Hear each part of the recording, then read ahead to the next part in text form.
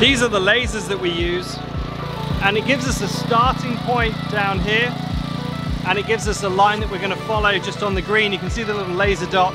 That's what we're going to follow all the way along the line. So we'll get to the start point, we've got it lined up and all we're going to do is pull this little trigger on the side here and that's going to start the spray for us.